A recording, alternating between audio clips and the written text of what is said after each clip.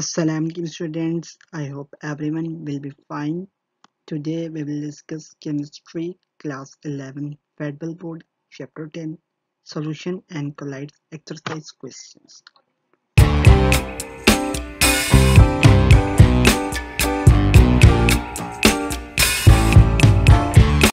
In this part we will discuss question number 1 to question number 17 and in the next video we'll discuss question number 35. Now question number two सबसे पहले क्या है? Determine the of the following solution 3.5 weight by weight glucose and next one is 9.9 gram of NaNO3 dissolve in 940 gram of water now सबसे पहले हम देखते हैं जो 3.5 वेट बाय वेट ग्लूकोज के लिए हमने मोलैलिटी कैसे फाइंड करनी है। अब गिवन है 3.5 weight by weight glucose solution उसका क्या मतलब है कि हमारे पास 3.5 ग्राम ऑफ़ ग्लूकोज प्रेजेंट है for every 100 grams of solution now mass of glucose हो गया 3.5 ग्राम मैथ ऑफ़ वाटर कैसे निकालेंगे? Mass of solution minus mass of solute mass of solution 100 gram क्योंकि उसने कहा हुआ 3.5 परसेंट तो 100 माइनस थ्री करेंगे, जो कि मैथ ऑफ़ सोल्यूट है। तो हमारे पास मैथ ऑफ़ वाटर आ जाएगा 96.5 ग्राम और इन के जी it will be 0.0965 kg now number of mole के लिए फॉर्मूला होता है mass divided by molar mass तो जब हम mass divided by molar mass करेंगे तो हमारे पास नंबर ऑफ़ मोल्स आ जाएँगे 0.0194 जो मोलर मैस होता है ग्लूकोज का, वो कितना होता है? 180.16 या हम इसको राउंड ऑफ़ करके 180 भी लिख सकते हैं। Now we can calculate the molality molality का क्या फॉर्मूला होता है? Number of moles of solute divided by mass of solvent तो number of moles of solute हमने निकालिया 0.0194 और मास ऑफ़ सॉल्वेंट यानी कि मास ऑफ़ वाटर था 0.0965 के जी तो जब हम ये डिवीज़न करेंगे तो हमारे पास मोलैलिटी आ जाएगी जी 0.201 मोलल नाउ इसका पार्ट बी है जी 9.9 gram of NaNO3 dissolved in 940 gram of water तो number of moles of NaNO3 के लिए फॉर्मूला लगाएँगे mass divided by molar mass तो जो मोलर मैस होता है NaNO3 का होता है 85 तो 9.9 डिवाइडेड बाय 85 करेंगे तो हमारे पास नंबर ऑफ़ मोल्स आ जाएँगे 0.1165 मोल नाउ अब हमें मैस ऑफ़ दिया हुआ है 940 ग्राम और इन के जी इट विल 0.940 केजी अब हम मोलैलिटी का फॉर्मूला लगाएँगे number of moles of solute divided by mass of solvent तो number of moles of solute हमने निकाले हैं 0.1165 उसको डिवाइड करेंगे 0.940 से तो हमारे पास मोलैलिटी आ जाएगी जी 0.124 molal Now, question number 3 kg what are the freezing and boiling points of the solution prepared by dissolving 13.3 gram of ethylene glycol in 100 gram of water? हमारे पास इथाइलिन ग्लाइकोल का मैस प्रेजेंट है 13.3 और mess of water है 100 gram हमने freezing point और boiling point find out करना है फॉर दैट पर्टिकुलर सॉल्यूशन तो मोल्स ऑफ़ इथाइलिन ग्लाइकोल के लिए हम क्या करेंगे? Mass divided by molar mass तो मोलर मैस ऑफ़ इथाइलिन होता है जी 62 और जो एग्जैक्ट फिगर होती है वो 62.07 नाउ जब हम ये डिवीज़न करेंगे 13.3 डिवाइडेड बाय 62.07 तो हमारे पास नंबर ऑफ़ मोल्स आ जाएँगे जी 0.2141 moles now mass of water 100 gram है और in kg this will be is equal to 0.1 kg molality का फॉर्मूला लगाएँगे moles of solute divided by mass of solvent तो हमारे पास मोलैलिटी आ जाएगी 2.141 मोलल नाउ अब हमें फ्रेजिंग पॉइंट और बॉइलिंग पॉइंट कैलकुलेट करने के लिए दो कांस्टेंट चाहिए होते हैं cryoscopic constant for freezing point and ebullioscopic constant for boiling point तो जो के एफ़ होता है, वो होता है जी क्राइस्कोपिक कांस्टेंट जिसकी वैल्यू होती है 1.86 जी पर मीटर एंड के बी यानी कि ebullioscopic constant 0.512 degree Celsius per metre तो डेल्टा टी एफ़ की इक्वेशन लगाएँगे के एफ़ इंटू मोलैलिटी जब हम ये वाली इक्वेशन सॉल्व करेंगे तो हमारे पास डेल्टा टी एफ़ यानी कि चेंज इन फेजिंग पॉइंट आ जाएगा three point nine eight zero two six degree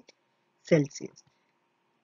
similarly boiling point के लिए हम फॉर्मूला लगाएँगे के बी इंटू मोलैलिटी और हमारे पास change in boiling point one zero nine seven seven nine two degree Celsius आ जाएगा। नाउ जो, जब हमने freezing point of solution find out करना होता है तो हम क्या करते हैं, जो फ्रीजिंग पॉइंट ऑफ़ वाटर है, उसमें से जो हमारे पास डेल्टा टी एफ़ आई है, वो माइनस कर देते हैं। तो ज़ीरो डिग्री सेल्सियस होता है फ्रीजिंग पॉइंट ऑफ़ वाटर उसको माइनस करेंगे जी three point nine eight zero two six तो हमारे पास फ्रीजिंग पॉइंट आएगा minus three point nine eight zero two six degree Celsius और बॉइलिंग पॉइंट ऑफ़ सोल्यूशन के लिए हम क्या करते हैं, जो हमारे पास बॉइलिंग पॉइंट होता है वाटर का, उसमें हम डेल्टा टी भी ऐड कर लेते हैं। तो जब हम 100 डिग्री सेल्सियस, जो कि बॉइलिंग पॉइंट ऑफ़ वाटर है, उसके अंदर ऐड करेंगे 1.0977792 तो हमारे पास बॉइलिंग पॉइंट आ जाएगा 101.0977792 डिग्री सेल्सियस। ये इसको राउंड ऑफ़ करके हम लिख सकते हैं कि 101 degree Celsius. Now question number four when cooking, what effect does adding salt to water have on time required to boil food? जब हम नमक पानी के अंदर ऐड करते हैं तो हमारे पास टाइम के ऊपर क्या इफ़ेक्ट पड़ता है? जो हमें चाहिए होता है फ़ूड को बॉईल करने में। Adding salt to water when cooking has the effect of increasing the boiling point of water जब हम वाटर के अंदर सॉल्ट को ऐड करते हैं तो हमारा क्या होता है? बॉइलिंग पॉइंट इंक्रीज हो जाता है और इस फिनोमिना को हम कहते हैं boiling point elevation When you dissolve salt in water, it breaks into positive and negative and जब हम salt को पानी के अंदर डालते हैं तो वो क्या होता है positive और negative आइन में डाउन हो जाता है अगर हमारे पास स्टेबल सॉल्ट है तो हमारे पास Na प्लस और सी एल माइनस आइन में वो ब्रेक डाउन हो जाएगा these आइन disrupt the water's normal boiling behaviour and require more energy to reach the boiling point इससे क्या होगा? जो आयन के ब्रेक डाउन होंगे उससे जो हमारा नॉर्मल बॉइलिंग पॉइंट है वाटर का वो डिस्टर्ब हो जाएगा जिसकी वजह से हमारे पास ज़्यादा एनर्जी चाहिए होगी कि हम उस वाटर को बॉइलिंग पॉइंट तक रीच करवा सकें। As a result, when you add salt to water, the boiling point of water increases. और जब हमें ज़्यादा एनर्जी चाहिए तो हमारे क्या होगा? बॉइलिंग पॉइंट भी इंक्रीज कर जाएगा जिसकी वजह से हमारे वाटर को जो है वो ज़्यादा हायर टेम्परेचर चाहिए होगा कि वो बॉयल हो सके then pure water this increased boiling point due to the presence of salt can have an impact on the time required to cook food. और जब हमें ज़्यादा एनर्जी चाहिए तो हमारा बॉइलिंग पॉइंट इंक्रीज हो गया तो हमारे पास जो टाइम रिक्वायर है कि फ़ूड बॉयल हो सके वो भी इंक्रीज हो जाएगा। जिसकी वजह से जो सॉल्ट है, जब हम उसको वाटर में ऐड करते हैं तो जो हमारा टाइम है, जो कि हमें फ़ूड को बॉईल करने के लिए रिक्वायर होता है, वो इंक्रीज हो जाता है एज कंपेयर के जब हम उसको प्योर वाटर में बॉईल करें now question number five Sulfuric acid is 98% weight by weight. Its density is 1.84 gram per centimeter cube. Calculate the molarity of solution the molality of solution or part C है जी what quantity of concentrated sulfuric acid is required to prepare 500 centimeter cube of 0.1 molar sulfuric acid हमने molality find out करनी है molality और quantity हमने find out करनी है जो हमें कंसनट्रेटेड सल्फ्यूरिक एसिड के रिक्वायर होगी कि हम 500 सेंटीमीटर क्यूब का सॉल्यूशन प्रिपेयर कर सकें of 0.1 molar sulphuric acid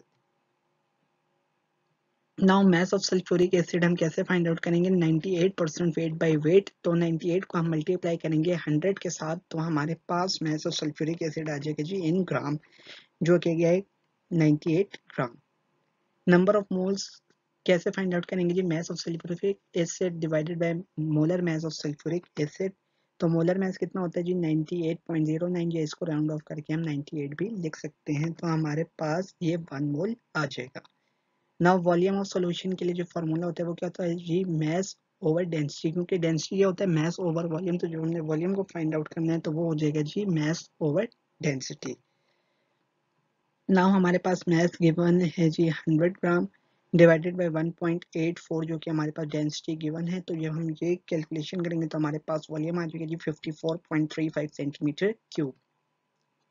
now 54.35 centimetre cube contains one mole तो थाउज़ेंड सेंटीमीटर क्यूब में कितना हो जाएगा? One over fifty four point three five multiply by thousand करेंगे this will be is equal to eighteen point four mole now molarity of solution के लिए हम क्या लगाएँगे जी? Number of moles of solute divided by volume of solution तो number of moles आए थे जी one divided by zero point zero five four three five जो volume है हमारा सॉल्यूशन का इन लीटर तो this will be is equal into 18.38 molar now molality के लिए जो फार्मूला होता है, वो होता है जी, सबसे पहले हम मैस ऑफ़ सॉल्वेंट निकालेंगे mass of solution minus mass of sulphuric acid hundred minus ninety eight तो हमारे पास मैस ऑफ़ सॉल्वेंट आ जाएगा जी टू ग्राम और in k g is is it will be zero point zero zero two k g now molality का formula होता है number of moles of solute divided by mass of solvent तो one mole divided by zero point zero zero two k g तो हमारे पास this will be equal to five hundred mole per k g. Now part c था जी quantity of sulphuric acid हमें चाहिए तो उसके लिए हम क्या करेंगे, जो हमारे पास गिवन है, उसको इक्वल टू रखेंगे रिक्वायर्ड के। M1 v1 is equivalent to m2 v2 अब m1 हमारे पास आया था 18.4 मल्टीप्लाई बाई वी वन हमने कैलकुलेट करना है और हमारे पास m2 गिवन है 0.1 मोलर जो कि पार्ट सी में गिवन है, और 500 सेंटीमीटर क्यूब भी हमें पार्ट सी में वॉल्यूम गिवन है तो जब हम इस इक्वेशन को सॉल्व करेंगे तो हमारे पास वी वन आ जाएगा जी 2.717 सेंटीमीटर क्यूब यानी कि ये हमें क्वांटिटी चाहिए सल्फ्यूरिक एसिड की, कि हम प्रिपेयर कर सकें 500 centimeter cube of 0.1 molar sulfuric acid. Now question number 6 है जी what would you expect potassium chloride KCl anionic solid to be more soluble in water or CCl4 यानी कि calcium carbon tetra chloride explain your prediction तो हमारे पास के जो potassium chloride है क्योंकि वो एनिक सॉलिड है तो वो वाटर के अंदर ज़्यादा अच्छा सॉल्युबल है as compare to carbon tetrachloride this expectation is based on the nature of solute solvent induction and the polarity of the solvents अब वाटर क्या है जी? पोलर सॉल्वेंट है। उसका क्या मतलब है कि जो हमारे पास वाटर में पार्शियल पॉजिटिव और पार्शियल नेगेटिव चार्ज है और जो कि पार्शियल पॉजिटिव हमारे पास हाइड्रोजन एटम में है और पार्शियल नेगेटिव हमारे पास ऑक्सीजन एटम में है। अब जो एनिक कंपाउंड है के वो भी पॉजिटिव और नेगेटिव आइंस पर मुश्तमिल होता है, जो कि आपस में जोड़े गए होते हैं बाय द इलेक्ट्रोस्टैटिक फोर्सेस और जब हम एनिक कंपाउंड को या एनिक सॉलिड को वाटर के अंदर डिजोल्व करते हैं तो वो इजीली डिजोल्व हो जाता है क्योंकि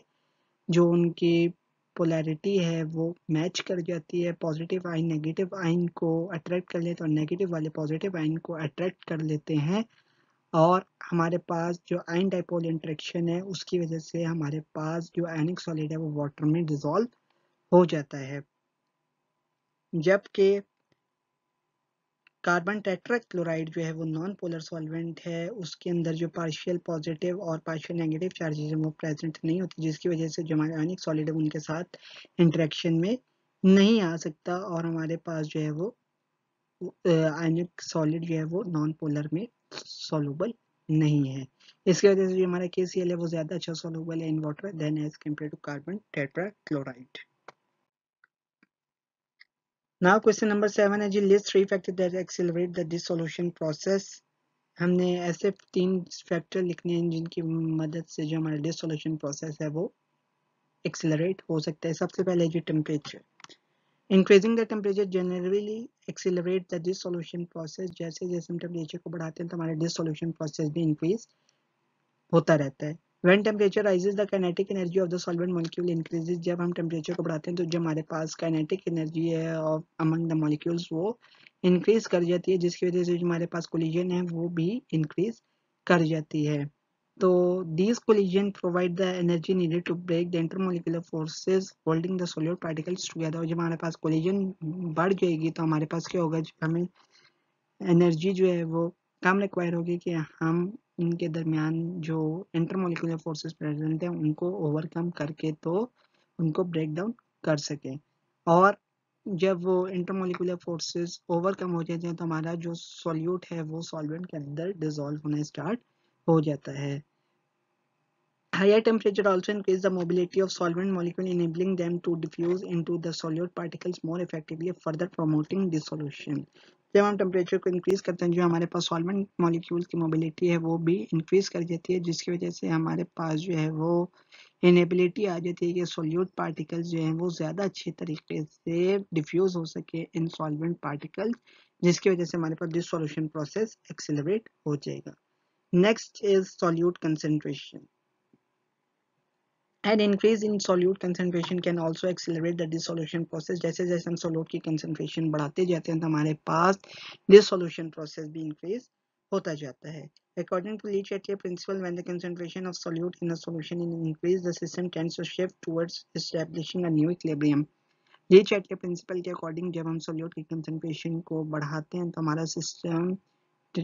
उस डायरेक्शन में शिफ्ट हो जाता है to establish a new equilibrium. In the case of dissolution, the system responds to increased solute concentration by encouraging more solute particles to dissolve. जब हमारे डिसोल्यूशन का प्रोसेस हो रहा होता है और हमारी सोल्यूट की कंसनट्रेशन बढ़ के तो हमारे पास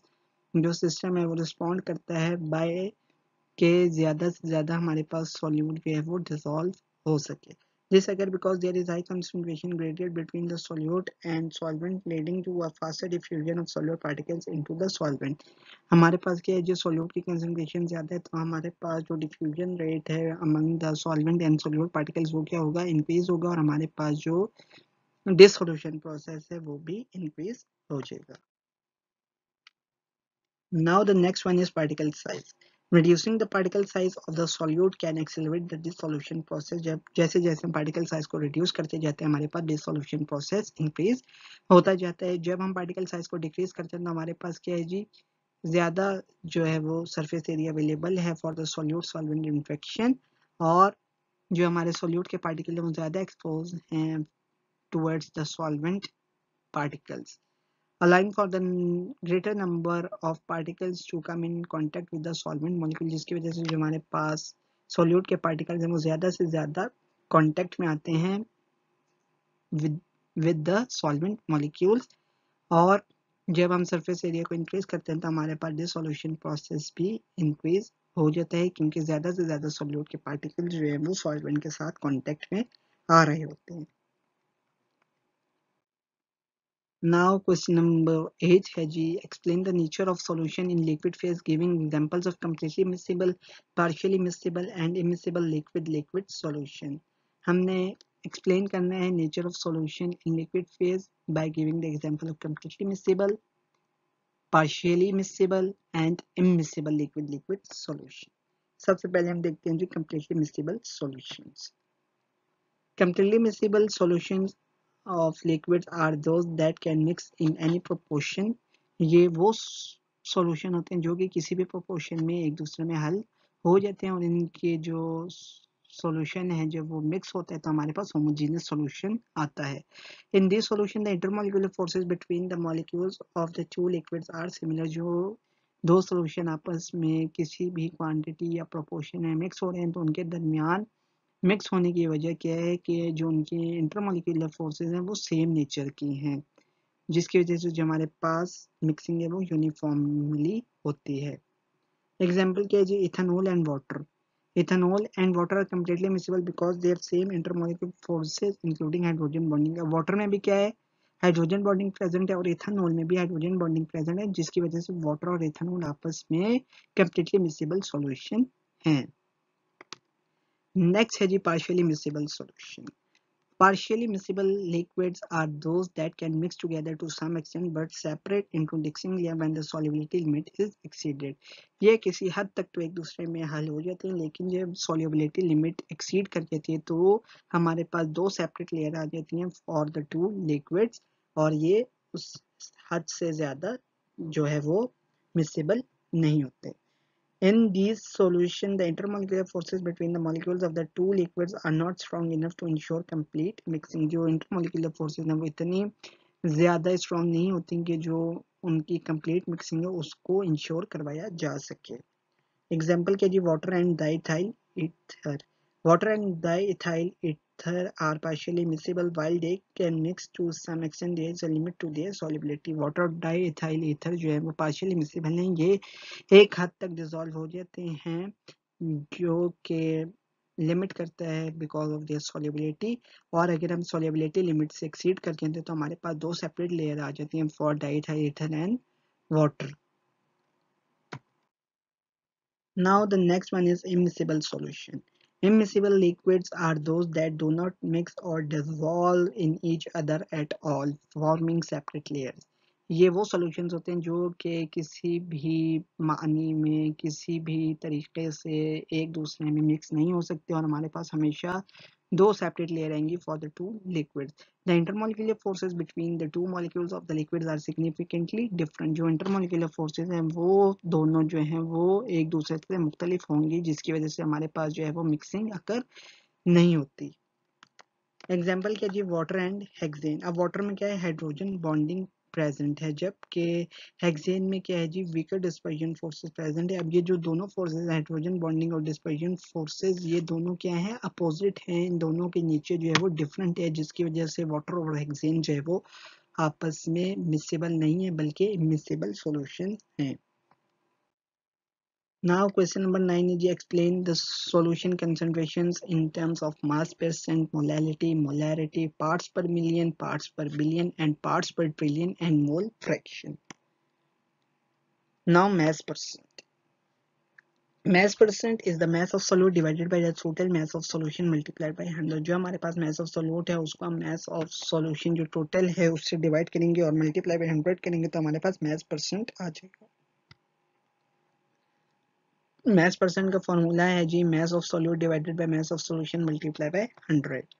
next है जी molality. Molality is the number of moles of solute per kilogram of solvent एक किलोग्राम ऑफ़ सॉल्वेंट में कितने number of moles of solute present हैं, वो होता है molality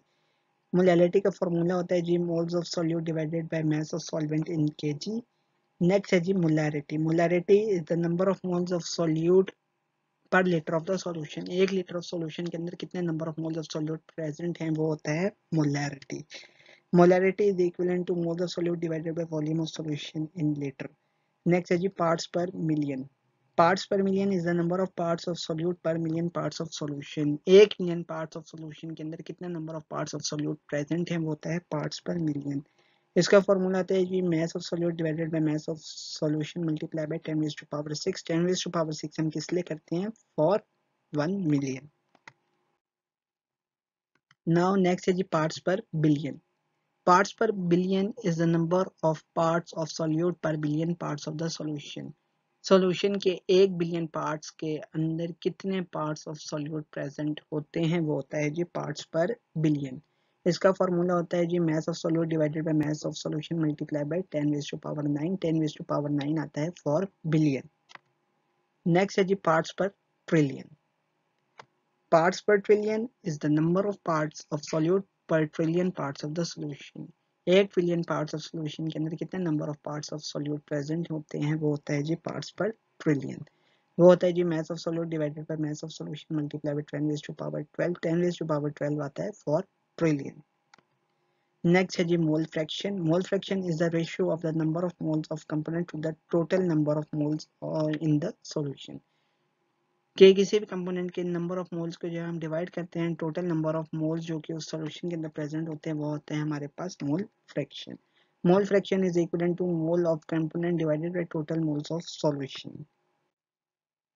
Now question number 10 is you distinguish between the solution of ionic species and molecular substances. Nature of solute particle सबसे पहले हम डिस्कस करते हैं for ionic and molecular substances. Ionic species क्या हैं जी ionic compounds consist of positively and negatively charged ion held together by electrostatic forces. ये वो compounds होते हैं जिसमें positive और negatively charged present होते हैं जो कि held किए गए होते हैं आपस में by the electrostatic forces The solvation of ionic species involve the separation of these ions from the crystal lattice and interaction of these ions with the solvent molecules. जो सॉल्वेशन होती है वो किस वजह से होती है कि जो हमारे पास आइन है वो सेपरेट हो जाते हैं पॉजिटिव एंड नेगेटिव आइन जिसकी वजह से जो हमारे पास इंटरेक्शन होता है बिटवीन द सॉल्वेंट और सॉल्यूट आइंस और हमारे पास सॉल्वेशन अकर होती है नेक्स्ट हम देखते हैं जो मॉलिकुलर सब्सटेंसेस के लिए जो नेचर ऑफ़ सॉल्यूट पार्टिकल्स है, वो कैसा है? Molecular substances are compose of neutral molecules held together by covalent bond ये न्यूट्रल मॉलिक्यूल्स के ऊपर मुश्तमिल होते हैं, जो कि आपस में रखे गए होते हैं by covalent bonds the solvation of molecular substances involve the interaction of the solvent molecule with individual solute molecules solvation किस वजह से होती है कि जो हमारे सॉल्वेंट के मॉलिक्यूल्स हैं वो इंटरेक्शन बनाते हैं with individual solute molecules next है जी solvation mechanism for ionic species and molecular species सबसे पहले हम देखते हैं जी आयोनिक स्पीशीज के लिए। When an ionic compound is dissolved in the solvent, the solvent molecules surround and interact with the individual ion. जब हम solvent के अंदर ionic species को dissolve करते हैं तो हमारा क्या है? solvent का molecule हर आइन के साथ जो है वो सराउंड हो जाता है और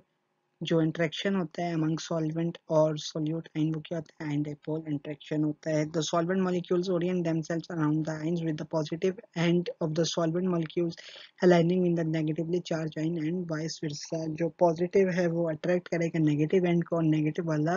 पॉजिटिव एंड को अट्रैक्ट करेगा और उनकी अलाइनमेंट होगी कि सॉल्वेंट के मॉलिक्यूल जो वो सराउंड कर देंगे सोल्यूट पार्टिकल्स को। This process is known as solvation और हाइड्रेशन फॉर एक्वस सॉल्यूशन और इस प्रोसेस को कहा जाता है जी सॉल्वेशन या हाइड्रेशन का process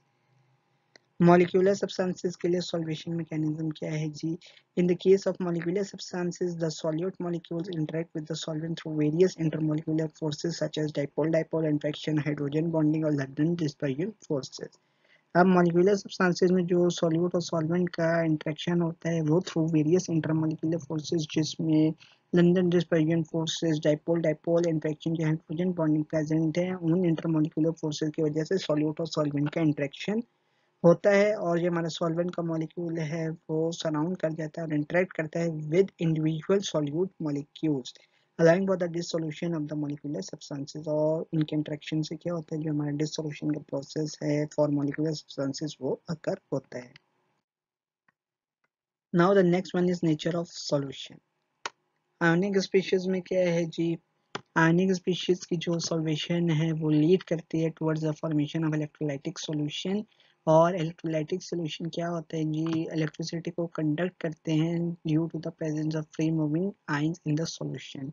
The solute ion dissociate into separate entities into the solvent and the solution contain both solvated ions and solvent molecules. जो solute के ions होते हैं वो separate entities के अंदर break down हो जाते हैं और जो solution है उसके अंदर solvated ion और solvent के molecules दोनों present होते हैं Next है जी molecular substances. The solvation of molecular substances leads to the formation of non-electrolytic solution. The solution do not conduct electricity as the solute molecule do not dissociate into charged species. जो molecular substances हैं उनकी जो solvation से non-electrolytic solution बनते हैं non electrolytic solution क्या होते हैं इलेक्ट्रिसिटी को कंडक्ट नहीं कर सकते उनकी वजह क्या होती है जो हमारे पास सोल्यूट के मॉलिक्यूल्स हैं वो चार स्पीशीज में डिसोसिएट नहीं होते और जो सोल्यूट मॉलिक्यूल्स हैं, वो remain intact and are by the solvent molecules next है जी डिसोल्यूशन प्रोसेस आयनिक स्पीशीज के लिए क्या है जी? The dissolution of ionic species involve the breaking of ionic bond in the crystal lattice of the solid and the subsequent hydration of the separated ion by solvent molecules हमारे पास जो आयनिक species है उसकी जो डिसोल्यूशन है, उसमें क्या होता है, हमारे पास जो आइंस है, वो सेपरेट पॉजिटिव और नेगेटिव आइंस में ब्रेक डाउन हो जाते हैं। जबकि मोलिकुलर सब्सटेंसेस में क्या है जी, जो हमारे पास डिसोल्यूशन होती है, वो किस वजह से होती है कि हमारे पास डिस्ट्रप्शन आती है intermolecular forces between the solid molecules and the solvent और इस डिस्ट्रप्शन की वजह से हमारे पास डिसोल्यूशन अकर होती है। Now question number 11 is you describe the role of solvation in the dissolving process. Breaking intermolecular forces. When a solute is introduced into a solvent जब हम solute को solvent के साथ introduce करवाते हैं तो जो सॉल्यूट की इंटरमोलिकुलर फोर्सेस होती हैं सच एज एनिक बॉन्ड्स अगर हमारे पास एनिक कंपाउंड है, ये intermolecular forces such as London dispersion hydrogen bonding और डाइपोल डाइपोल इंट्रैक्शन अगर हमारे पास मोलिकुलर सब्सटेंसेस हैं तो उसकी वजह से क्या होता है, जो हमारे पास इंटरमोलिकुलर फोर्सेस हैं बिटवीन द पार्टिकल्स वो क्या होती हैं ब्रेक डाउन हो जाती है। वो क्यों ब्रेक डाउन होती है? क्योंकि जो सॉल्वेंट के मॉलिक्यूल जो वो उसके साथ इंट्रेक्शन बनाता है और सॉल्वेंट के मॉलिक्यूल सॉल्यूट पार्टिकल्स को सराउंड कर लेता है। नेक्स्ट है जी hydration in the case of ionic solute such as salt the solvent molecule interact with solute ion through ion dipole interaction जो आनिक सॉल्यूट्स होते हैं, जो आनिक सॉल्यूट जैसे कि सॉल्ट वगैरह हो गए, जो उसमें सॉल्वेंट और सॉल्यूट का इंट्रेक्शन होता है, वो एंड डाइपोल इंट्रेक्शन होता है। जो पॉजिटिव एंड होता है सॉल्वेंट का, वो अट्रैक्ट होता है टुवर्ड्स द नेगेटिव चार्ज और जो नेगेटिव एंड होता है, वो अट्रैक्ट होता है towards the positive charge ion of solute और इस प्रोसेस को हम कहते हैं जी हाइड्रेशन जब वाटर हमारे पास एज अ सॉल्वेंट एक्ट कर रहा होता है। The solvent molecules effectively solvate the solute ion जो सॉल्वेंट के मॉलिक्यूल्स होते हैं, वो अच्छे तरीके से सॉल्यूट आइन को सॉल्वेट कर पाते हैं और उससे क्या होता है जो हमारे पास सेपरेशन होती है from the solid lattice in the formation solvated ions in the solution next है जी डिस्पर्जन और dissolution For molecular solute, the solvent molecules interact with the solute molecules for various intermolecular forces such as dipole, dipole interaction or London dispersion. Forces अगर हमारे पास molecular solute है तो solvent molecule वो interact करेगा with the solute molecules through various intermolecular forces जिसमें London dispersion dipole dipole forces present है, उन फोर्सेज की मदद से सॉल्यूट और सॉल्वेंट का इंट्रैक्शन होगा और सॉल्वेंट का मॉलिक्यूल सराउंड कर जाएगा और इंटरेक्ट करेगा with each individual solute molecules और उसकी वजह से क्या होगा, जो हमारे सॉल्यूट के पार्टिकल हैं, वो सॉल्वेंट में डिजोल्व हो जाएँगे और हमारे पास इससे जो है होमोजीनियस मिक्सचर प्रोड्यूस होगा Now the next one is stabilization and dispersion of solute. Solvation provides stability to the solute particles in the solution. The solvent molecules form a shell around the solute particle, effectively reducing their attractive force and preventing them from re-aggregating. जो solvent का molecules होता है, वो shell बना लेता है around each individual solute particles जिसकी वजह से जो उसके अट्रैक्टिव फोर्सेस होती हैं कि वो दूसरे सॉल्यूट पार्टिकल्स को अट्रैक्ट करे या रिपेल करे, वो क्या होता है, वो कम हो जाती हैं और इससे क्या होता है, जो रीएग्रेटिंग है, वो भी प्रिवेंट हो जाती है। This dispersion of solute particle through the solvent promote the formation of homogeneous solution और इससे क्या होता है, जो हमारे पास डिस्पर्जन होती है सोलूट पार्टिकल्स की थ्रू आउट द सॉल्वेंट उससे हमारे पास होमोजीनियस सॉल्यूशन बनता है। नेक्स्ट है जी increase in entropy the process of solvation and dissolution typically leads when increase in entropy जो सॉल्वेशन या डिसोल्यूशन का प्रोसेस होता है, उससे कहते हैं, हमारे पास जो एंट्रोपी ऑफ़ द सिस्टम होती है, वो इंक्रीज हो जाती है। एंट्रोपी को हम ऐसे डिफाइन करते हैं कि डिसऑर्डर जो आर होता है हमारे पास सिस्टम में वो इंक्रीज हो जाता है। As the solute particle separate and become disperse of the solvent जैसे जैसे सोल्यूट के पार्टिकल एक दूसरे से सेपरेट होते जाते हैं और वो सॉल्वेंट में डिस्पर्स होते जाते हैं तो हमारे पास रेंडमनेस या ऑर्डरनेस जो होती है वो कम से कम हो जाती है डिसऑर्डर इंक्रीज हो जाता है, जिसकी वजह से जो हमारे पास एंट्रोपी है वो इंक्रीज हो जाती है, जो कि लीड करती है to the spontaneity of the dissolving process Now the next one is question number 12. Define the term water of hydration. Water of hydration, also known as water of crystallization, refer to the water molecules that are chemically bound within the crystal lattice of a hydrated compound. Water of hydration को हम water of crystallisation भी कहते हैं ये वो water के molecules होते हैं जो कि केमिकली बाउंड हो जाते हैं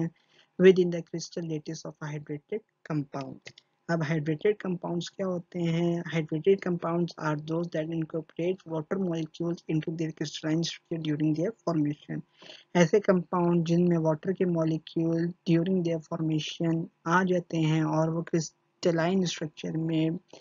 जगह बना लेते हैं, उन कंपाउंड्स को हम कहते हैं जी हाइड्रेटेड कंपाउंड्स को हम कहते हैं। Now the next one is question number 13 define the colligative The term colligative refers to the property of a solution that depends solely on the number of solute particles present regardless of their nature or identity. वो property जो के number of solute particles के ऊपर depend करती है rather than कि हमारे पास nature of solute particles क्या है या identity क्या है solute particle के उसके ऊपर डिपेंड नहीं करती बल्कि नंबर ऑफ़ सोल्यूट पार्टिकल्स के ऊपर डिपेंड करती हैं वो प्रॉपर्टी होती हैं जी colligative properties. There are four main colligative properties vapor, pressure, lowering when a non-volatile solute is added to a solvent जब हम solvent के अंदर non-volatile solute को add करते हैं तो हमारे पास vapor pressure क्या होता है वो decrease हो जाता है और ये जो decrease होना है vapor pressure वो directly proportional है कि हमारे पास number of solute particles कितने present हैं boiling point elevation boiling point of solvent is raised when non volatile solute is added जब हम सॉल्वेंट के अंदर वोलेटाइल सॉल्यूट को ऐड करते हैं हमारे पास बॉइलिंग पॉइंट इंक्रीज हो जाता है और ये जो इंक्रीज है, ये एलिवेशन ऑफ़ बॉइलिंग पॉइंट का वो डिपेंड करता है कि हमारे पास नंबर ऑफ़ सॉल्यूट पार्टिकल्स कितनी है। Freezing point depression the freezing point of solvent is lower when solute is added जब हम सॉल्वेंट के अंदर सॉल्यूट को ऐड करते हैं तो हमारे पास फ्रीजिंग पॉइंट सॉल्वेंट का क्या होता है? कम हो जाता है। और ये जो डिप्रेशन है या डिक्रीज है फ्रीजिंग पॉइंट में वो डिपेंड करता है कि हमारे पास नंबर ऑफ़ सॉल्यूट पार्टिकल्स कितने प्रेजेंट हैं the next one is osmotic pressure Osmotic pressure is the pressure required to prevent the flow of solvent molecules across a semi-permeable membrane due to the presence of solute. जो हमारे पास pressure हमें चाहिए होता है कि हम solvent के molecules के फ्लो को प्रिवेंट करवा सकें across a semi permeable membrane to the presence of solute particles होता है ऑस्मोटिक प्रेशर और ये जो ऑस्मोटिक प्रेशर है, वो डायरेक्टली प्रोपोर्शनल होता है कि हमारे पास नंबर ऑफ़ सॉल्यूट पार्टिकल्स कितने हैं। अब ये जो चारों प्रॉपर्टीज़ हैं vapour pressure lowering boiling point elevation freezing point depression और ऑस्मोटिक प्रेशर क्योंकि ये नंबर ऑफ़ सॉल्यूट पार्टिकल्स के ऊपर डायरेक्टली डिपेंड कर रहे हैं तो हमारे पास ये क्या है, ये चारों जो है, ये क्वालिटेटिव प्रॉपर्टीज़ हैं। Now, the next one is question number 14 list the characteristics of colloids and suspension सबसे पहले हम देखते हैं जी पार्टिकल साइज़ कोलाइड्स के लिए colloidal particles have an intermediate size range between true solution and suspension जो colloids का particle size होता है वो true solution और suspension के बीच में lie कर रहा होता है जिसकी जो range होती है वो होती है 1 नैनोमीटर से 1 माइक्रोमीटर तक नेक्स्ट है जी suspension suspended particle in suspension are larger than those in a colloid जो सस्पेंशन के पार्टिकल्स होते हैं, वो लार्जर होते हैं than those as compare to colloid और जो उनकी रेंज होती है, वो वन माइक्रोमीटर से सेवन मिलीमीटर तक होती है। नेक्स्ट है जी टिंडल इफ़ेक्ट कोलाइड्स के लेके आए जी when a beam of light passes हुआ कोलाइडल जिस पर unit scatter the light in different direction जब हम लाइट को पास करवाते हैं थ्रू द कोलाइडल डिस्पर्जन तो हमारे पास क्या होती है जी? स्कैटरिंग ऑफ़ लाइट अकर होती है इन डिफरेंट डायरेक्शन और इस स्कैटरिंग ऑफ़ लाइट वाले फेनोना को हम कहते हैं जी टिंडल इफ़ेक्ट और ये जो प्रॉपर्टी है कोलाइड्स की है। नेक्स्ट सस्पेंशन के लिए। Suspension do not exhibit the Tyndall effect since the suspended particles are larger and do not scatter light in the same way अब जो सस्पेंशन के पार्टिकल्स हैं क्योंकि लाइट को डिस्पर्स या स्कैटर नहीं करते जिसकी वजह से उनमें टिंडल इफ़ेक्ट प्रेजेंट नहीं होता now the next one is particle stability colloids particles tend to remain dispersed in a medium due to balance between attractive and repulsive forces जो कोलाइड्स के पार्टिकल हैं, वो किसी भी मीडियम में डिस्पर्स रहते हैं क्योंकि अट्रैक्टिव और रिपल्सिव फोर्सेस दोनों के दरमियान बैलेंस होता है। नेक्स्ट है जी suspension suspension are inherently unstable जो सस्पेंशन के पार्टिकल्स हैं, वो अनस्टेबल होते हैं और these particle can easily settle out of the medium if left undisturbed. और ये जो है, ये मीडियम से इजीली सेटल आउट हो जाते हैं अगर हम इनको अनडिस्टर्ब्ड लीव कर दें। नेक्स्ट है जी चार्ज ऑन पार्टिकल कोलाइड्स क्या पॉजिटिव और नेगेटिव और सस्पेंशन क्या है? ये पॉजिटिव भी हो सकते हैं नेगेटिव भी और न्यूट्रल भी। Now the next one is filterability जो कोलाइड्स के हैं पार्टिकल्स वो पास कर जाते हैं through ordinary filter paper but ultra filter paper से पास नहीं करते जबकि सस्पेंशन के पार्टिकल ऑर्डिनरी और अल्ट्रा फ़िल्टर पेपर दोनों से उसे पास कर जाते हैं Now the next question is question number 15. Define hydrophilic and hydrophobic molecules. Hydrophilic molecules. Hydrophilic molecules are substances that have an affinity for water and can easily dissolve or mix with it. ऐसे molecule जिसमें water की affinity present होती है और वो easily water के अंदर dissolve या मिक्स हो जाते हैं। उनको हम कहते हैं हाइड्रोफिलिक मॉलिक्यूल्स और ये क्या होते हैं? वाटर लविंग होते हैं और ये ज़्यादातर पोलर और चार्ज मॉलिक्यूल्स होते हैं, जिसकी वजह से वाटर की नेचर और इन हाइड्रोफिलिक मॉलिक्यूल्स की नेचर दोनों की पोलर नेचर होती है, जिसकी वजह से वो इंट्रैक्शन बना लेते हैं वाटर के साथ और वो इजीली डिजोल्व हो जाते हैं। एग्ज़ाम्पल क्या ग्लूकोज और सोडियम क्लोराइड जबकि हाइड्रोफोबिक मॉलिक्यूल्स क्या होते हैं? Are the substances that repel water and do not readily dissolve और मिक्स विद इट ऐसे सब्सटेंसेस जो कि वाटर को अट्रैक्ट नहीं, बल्कि रिपेल करते हैं और उसके अंदर इजीली डिसॉल्व या मिक्स नहीं होते हैं, उनको हम कहते हैं ये hydrophobic molecules these are water fearing यानी कि वो पानी से खौफजदा होते हैं और जो उनकी नेचर होती है, वो नॉन पोलर होती है और वो पोलैरिटी होती है, जिसकी वजह से जो वाटर जो कि पोलर है उसकी नेचर इन हाइड्रोफोबिक मॉलिक्यूल से मैच नहीं करती जिसकी वजह से हाइड्रोफोबिक मॉलिक्यूल्स वाटर के अंदर डिजोल्व नहीं होते एग्ज़ाम्पल के जो molecules of organic fats and oils Now the next one is question number 16 है describe on particle basis why a solution has a lower vapor pressure than the pure solvent. Solution का pure solvent के निस्बत vapor pressure low क्यों होता है solution has lower vapour pressure than the pure solvent due to the presence of solute particle अब solution में क्या है जो? सोल्यूट पार्टिकल प्रेजेंट होते हैं, जिसकी वजह से जो उसका वेपर प्रेशर है वो लोअर होता है as compare to pure solvent in solution solute particle disperse among solvent molecular solution में क्या होता है? जो हमारे पास सोल्यूट के पार्टिकल्स होते हैं, वो सॉल्वेंट पार्टिकल्स में डिस्पर्स हो जाते हैं. This solute particles disrupt the cohesive forces between the solvent molecules at the surface making it harder for the solvent molecule to escape into the vapor phase और जब वो disperse हो जाते हैं solute के molecules in solvent उनकी वजह से क्या होता है जो हमारे पास cohesive forces intermolecular forces होती हैं among solvent molecule वो डिस्टर्ब हो जाती हैं जिसकी वजह से हमारे पास ये मुश्किल होता है कि सॉल्वेंट के मॉलिक्यूल स्केप हो सकें इन वेपर फ़ेज़ और उसकी वजह से जो प्योर सॉल्वेंट है, उसका जो बॉइलिंग या वेपर प्रेशर है, वो ज़्यादा होता है एज़ कंपेयर टू सॉल्यूशन क्योंकि उसमें ग्रेटर टेंडेंसी होती है कि वो स्केप कर सके इन वेपर फ़ेज़ क्योंकि वहाँ पे सॉल्यूट और सॉल्वेंट का कोई इंट्रैक्शन नहीं है, जो कि उनकी मॉलिकुलर फोर्सेज या मूवमेंट को इंटरफेयर या डिस्टर्ब कर सके और वो इजीली वेपर फ़ेज़ में चले जाते हैं। This result in higher vapour pressure for the pure solvent जिसकी वजह से जो हमारे पास वेपर प्रेशर है, वो सॉल्वेंट का प्योर सॉल्वेंट का इंक्रीज हो जाता है एज कंपेयर टू सॉल्यूशन जिसका वेपर प्रेशर लोअर होता है as compare to pure solvent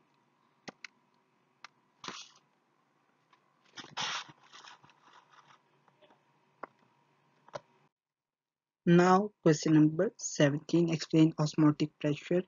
reverse osmosis and give their daily life application हमने ऑस्मोस्टिक प्रेशर और रिवर्स ऑस्मोसिस को डिस्कस करना है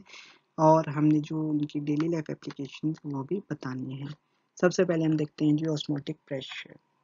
Osmotic pressure is the pressure required to prevent the net movement of solvent molecule through a semi-permeable membrane from a region of lower solute concentration to a region of higher solute concentration. वो pressure जो हमें require होता है कि हम solvent molecules की movement को prevent करवा सकें from a reason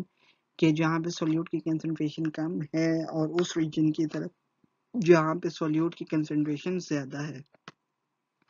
It is qualitative property that depends on the concentration of solute particles. अब जो इसकी डेली लाइफ एप्लीकेशंस हैं, उसमें है जी food preservation Osmotic pressure is utilized in food preservation techniques such as pickling, brining, and curing. Osmotic pressure जो है वो food preservation में एक अहम किरदार अदा करता है जैसे हो गया पिकलिंग यानी कि अचार ब्रेनिंग और क्यूरिंग जैसे कि मिल्क वगैरह की क्यूरिंग वगैरह High concentration of salt or sugar in these processes create an osmotic environment that inhibits the growth of bacteria and other microorganisms by dehydrating them. जब हमारे पास हाई कंसनट्रेशन सॉल्ट और sugar की present होती है in the process of pickling brining और curing तो उससे क्या होता है हमारे पास ऑस्मोटिक इन्वायरमेंट क्रिएट होता है जो कि इनहिबिट करता है ग्रोथ ऑफ़ बैक्टीरिया और other microorganism by dehydrating them and the other one is cell and biological systems. Osmotic pressure is crucial for maintaining the balance of fluid and electrolyte within the cell and organism. जो हमारे पास balance होता है among the fluids and electrolytes within the cell वो भी play किया जाता है by the osmotic pressure. Osmotic pressure क्या करता है? रेगुलेट करता है. Movement of water across the cell membrane ensuring that cell maintain their shape and function properly वो वाटर की मूवमेंट को रेगुलेट करता है अक्रॉस द सेल मेम्ब्रेन और इंश्योर करवाता है कि जो सेल है वो अपनी शेप और फ़ंक्शन दोनों को मेंटेन रखे। The next one is reverse osmosis It is a process that uses pressure to force a solvent through a semi-permeable membrane opposite to the natural direction of osmosis. Osmosis टिक pressure क्या था? हमारे पास वो pressure था जो कि prevent करता है सॉल्वेंट की मूवमेंट को, जबकि जो रिवर्स ऑस्मोसिस है वो प्रेशर है जो कि फोर्स करता है सॉल्वेंट मॉलिक्यूल्स के वो पास कर सकें through semi permeable membrane now daily life application क्या है कि water purification Reverse osmosis is widely used in water treatment systems to remove impurities, contaminants, and dissolved solids from drinking water. It can effectively remove bacteria, virus, heavy metals, chemicals, and other pollutants, providing clean and safe drinking water. Water purification के लिए reverse osmosis का एक अहम किरदार होता है वो क्या करता है जो हमारे पास हार्मफुल बैक्टीरिया होते हैं वायरसेस होते हैं या केमिकल्स वगैरह होते हैं उनको रिमूव कर देता है और हमारे पास हमें प्रोवाइड करता है क्लीन और सेफ़ ड्रिंकिंग वाटर नेक्स्ट है जी डीसेलिनेशन जो रिवर्स ऑस्मोसिस है, वो डीसेलिनेशन के प्रोसेस में भी अहम रोल अदा करता है। डिसलिनेशन क्या होता है? वो प्रोसेस जिसमें हम सॉल्ट्स और अदर मिनरल जो कि सी वाटर के अंदर प्रेजेंट होते हैं, उसको रिमूव करवा देते हैं और उस वाटर को हम सुटेबल बना देते हैं अपने पीने के लिए या ज़रात के लिए। It helps alleviate water scarcity in coastal region where fresh water resources are limited और उससे हमारे पास क्या होता है? जहाँ पे हमारे पास जो पीने के लिए साफ़ पानी है, वो कम मकदार में उसके रिसोर्सेज कम हो, उस रीजन में हम उस पानी को पहुँचा सकते हैं by the process of desalination now that's all about for today's lecture thanks for watching please like my video and share my videos to other friends and press the bell icon for the subscription in order to get a notification for all the videos which will be uploaded in future Inshallah, in our next video, we will discuss question number 18, 18 to question number 35. Till that time, take care. Allah Hafiz.